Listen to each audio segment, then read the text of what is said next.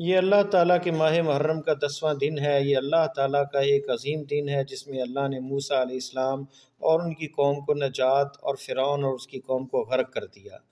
हज़रत मूसा इस्लाम ने अल्लाह ताला का शुक्र अदा करते हुए रोज़ा रखा और फिर हमारे नबी मोहम्मद सल्लल्लाहु अलैहि वसल्लम ने इस दिन का रोज़ा रखा। हज़रत इबन अब्बास रज़ी अल्लाह से रवायत है कि रसूलुल्लाह वसल्लम जब मदीना तशरीफ़ लाए तो आप वसल्लम ने इन्हें एक दिन यानी आशूरा के रोज़े रखते हुए देखा तो उन्होंने कहा कि ये एक अजीम दिन है और ये वो दिन है जब अल्लाह ने मूसा को बचाया और कौम फ़िरौन को गर्क कर दिया। इसलिए मूसा ने अल्लाह ताला का शुक्र अदा करते हुए रोज़ा रखा। आप वसल्लम ने कहा कि मैं मूसा के लिए उनसे ज़्यादा करीब हूँ और आपने रोज़ा रखा और इस दिन रोज़ा रखने का हुक्म दिया।